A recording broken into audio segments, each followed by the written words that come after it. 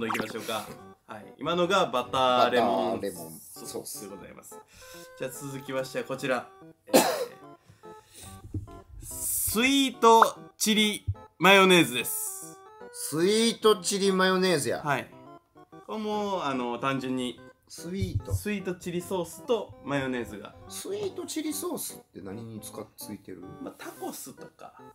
そっちですね。あんまり食べたことないわ。あと生春巻きとかであのつけて食べるのチリソースのやつあど。ーチリソースな、うん。まあ、そ辛くなくて、まあ、甘甘じょっぱい感じの、なるほど。はい、赤いソースなんですけど。もそれとマヨネーズ合わせた。じゃこれ揚げ物にだいぶはい、ああ結構。うん、ドレッシンソースドレッシソースって感じ、うん。ディップしがいがある。しっかりソースの感じですね。あーめっちゃドレッシングみたい。うん。甘いめっちゃいいバランス。これはねポテトの塩気とうん。甘みがめっちゃいいバランス。でちょっとクリーミーで。ナゲットとかにも多分合うような。あナゲットいいな。うん、ナゲットでナゲットで食べてく ナゲットでナゲットだけでいっていいナゲットなんでやねん。いやいいけど別に。いや一回挟んでみや。ナゲットはナゲットで美味しいですけどそれでこうしっかりつけた方がいい。もう。んバリうまい。え？コーンでもいけるかもしれないコーンでも。うん。うん。うん、まあ結局あげ これが一番いいかもしれないこの中華のやつが。あ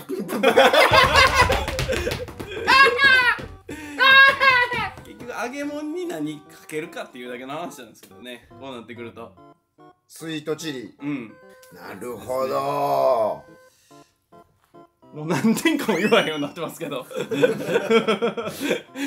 だもうぶっちぎりで97点だ。いやだからもう忘れて。97点は忘れて。さえー、勝負、あさあどんどんいきましょう。これが一応5個目ですね。うん、これがねえー、味噌にんにくマヨネーズです。はい。味噌にんにく。お味噌普通のお味噌？普通のお味噌です。合わせ味噌になってます、はい。でにんにくとマヨネーズ、はい。マヨネーズ。やんちゃやね。これは男の子が好きそうな。あんたやんちゃやね。まあ基本的にねあのニンニクベースのやつじゃあちょっと私好きなん食べでます。ちょっと偏ってしまうんですけど、ああ、うん、どうした？のうまい。え？味噌とにんにくと？マヨネーズ。マヨネーズか、はい。マヨネーズが効いてるね。マヨネーズ。いいバランス。あいいバランスで。マヨネーズベースで、うん。味噌を折ってにんにく折るみたいな、うん。この三角形みたいな感じ。マヨネーズがちょうどこうバランス取ってくれ取ってるね。はい。中和してくれて。味噌やとちょっとくどくなりますし角が立つので。うまい。はい、うわうまいなガツンとくるっすね。なんかニンニクが最後にグッとね。くる。これは。酒酒飲みたくない。まあそうですね。結局自分の好みに 合わせていくとこんな感じの味付けにはなっちゃうんですけど。なんか一う番ん。パンチがあるんは、うんうん。この子かも。ああそうですね。なんかちょっと濃い濃いのがうん。全部続くんで。うん、だからこれいった後に多分バターレモンとかはちょっと薄くなるというか。うん。うんあめっちゃ合うナゲットと、うん。ナゲットって美味しいよ 久しぶり？だけどナゲット久しぶり。まあそんな食わんか。ポテトいっちゃうくない？まあね。これ何やっけ？レモン？バターレモン。バターレモン。ババターレレモンめっちゃ合うナゲット。じゃあ最後いきましょうか。最後いきましょう、はい。まあ最後はですね。生クリーム。生クリームですマジで？ごめんなさいちょっとうん、うん、ただの生クリーム。ちょっとへたってます。ただの生クリーム。へえ。えでもなんかああのそういう食べ方があるんですよ。洋画とか見ててうんうん。むっちゃその黒人のうん屈強なバーンってでかいうん。アメリカンポリスがうん。そのフレンチフライをうん。バニラシェイクにつけて食っててん。あそうです。そのと一緒の要そ領で。ねれの要領です。えつけて。食うみたいなのがめっちゃうまいみたいな。なんやったらあのソフトクリームにバッてつけて食べても全然おいしいんで。ちょっと単体でいっていい？あうまいね。まあもうちょっとね冷やさんとまあまあまあまあ全然全然いい感じよ。はい。ちょっとたるくなっちゃうんで、めっちゃうまいな。これなんだやばこも偏りすぎてるって。えやばいやその偏りすぎてるとか言うけど違うってこれ美味しいって誰が食べても。さ美味しいけど。うん美味しいのこう幅がやっぱりなちょっと違うかなと思って。そう。いや。うん。まあ食べたことないですか？あないですないです。まあもともと生クリーム好きやから余いや計でも生クリームがいくら好きって言っても、うんうん。何でもかんでもかけへんやん。でもあ合わへんみたいなはいはいはいはい。なんかうん。あるやん。イメージというか偏見とかさ、うんうん食わず嫌いじゃないけどうん。うんでその俺もバニラシェイクとかアソルトクリーム好きやけど、うんうんうん。その映画のうん。アメリカンポリスがつけてんの食ってんのを見て、うんうんほんまにうまいんかって。はいはいはい。何でもええんじゃんもう。太りすぎててとかって思っちゃってたけど、うんうんやってみたらめっちゃうまいな。これまあ食べた？食べましたこれは。えうまいやんな。まあ甘じょっぱいっていうの甘じょっぱい。でだからしょっぱさとポテトの生クリームの甘さがめっちゃバランスよく。一番太る。最速で太る もう一直線。こんなん食べてたら。めっちゃ美味しいけど、うん。うん。皆さん見てください。このこののポテトにこの乗ってるこれ、うんこれがアメリカです。なんちゅう表現すんねん。だからロイズとかそんなんでさ、うん。ポテチにチョコレート塗ってるとかあるやん。あれと同じ感覚？全然同じ感覚です。あこれでソース選手たちがそうです、出揃ったということで。えーまあ、おさらいしますと、はい。え順番に順出番番に。はい、えー、コーンチーズソースですね、で中華ケチャップ。ちょっと待って中華ケチャップ、うん、中華ケチャップで、えーこちらが、えーバターレモンバターレモンねででえチリマヨネーズ。で。で、えー味噌マヨネーズニンニク。で生クリーム。というこの6選手で。選手で今からチャンピオンを、そうですね。チャンピオンちょっと決めてもらって。えチャンピオンを決める？まあとりあえず一番。一位一位を決めようか。んとりあえず。一番決めてもらって。まあ。えこはい鍋さんの中で一番推しはどれなまあの一番好きなの？まあ、それこそいろいろ組んできた中で、まあ、おすすめなのはコーンチーズとチリマヨ。チリマヨネーズね。チリマヨネーズなるですけどもまあそこはねもう個人的なほどでいいんでしょ。うはい。鍋さん的に自信があるというか好きなのは、こうマヨネーズとうん。チリ、チリですね俺とヤマピーさんの1位言います？じゃはいそうしましょう。そうしましょう。はい。じゃあまずは松本さん。はい、はい。えー1位は、1位ははい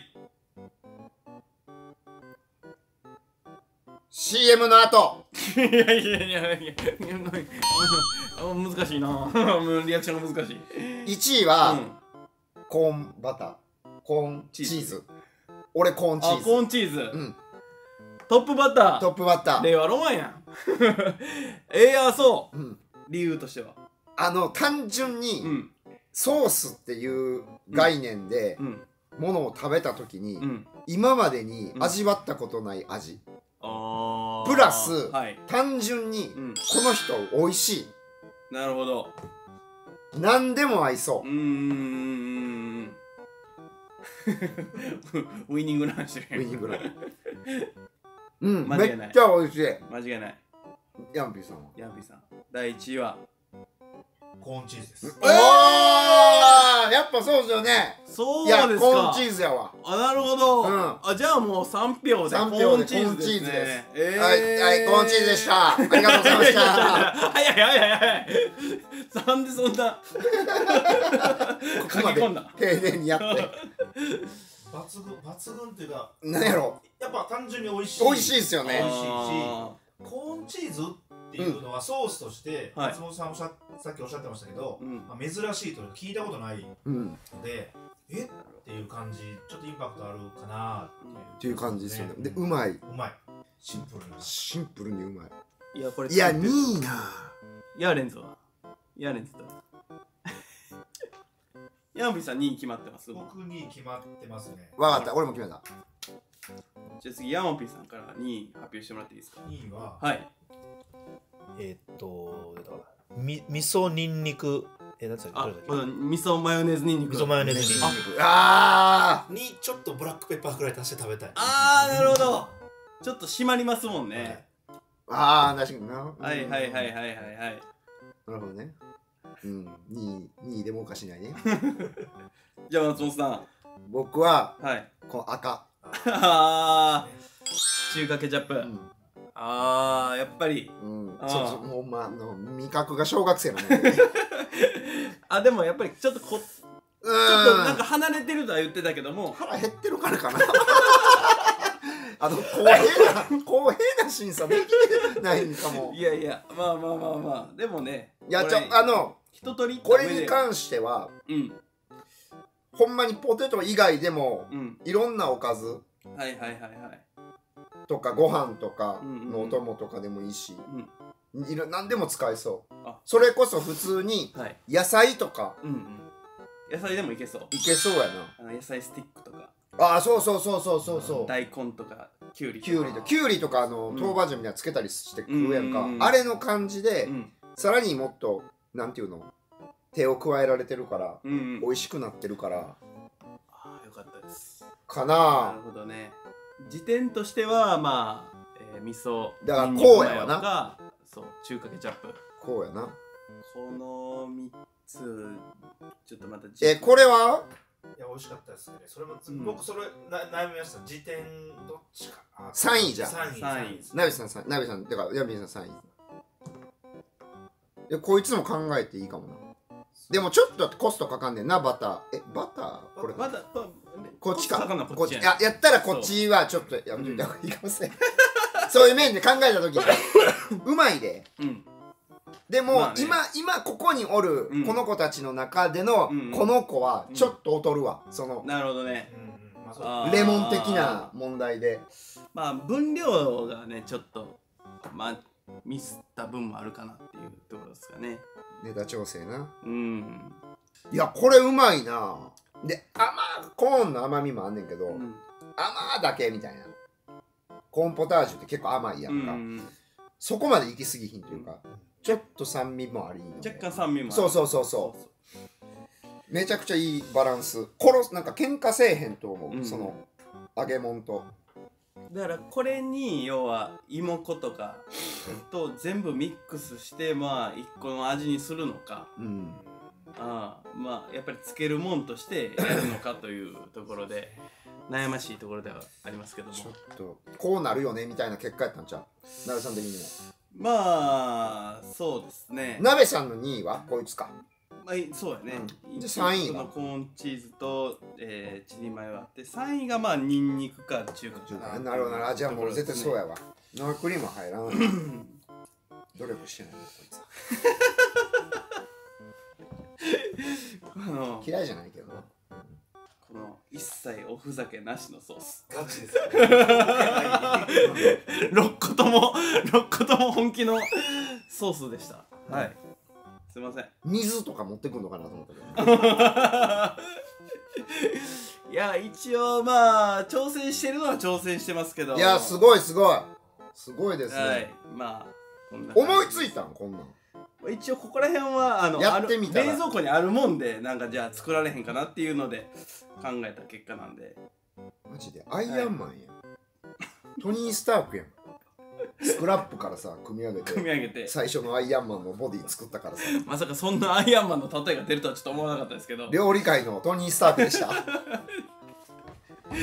まあこんな感じで。ちょっとまあまたはい。なんかそれ食べれる機会がね今後、うん。もしほんまになんかやるみたいなのなった時に、うん。なったらちょっと多分これはコーンはうん。やると思うんで。まあポテトもねちょっと今進化させてますんで。ちょはい。っとまた食べに来てください、まあ、またなんか気になった方、はい、渡辺さん見つけたらはい。作り方聞いてください、多分教えてまあ、くれます。か完成。はい。はい、ちゃんと言いますんで。はい、はい。ということでじゃあチャンピオンンはチャンピオンは？コーンチーズソースでした。はい。はい。ということで今日は以上です。ありがとうございました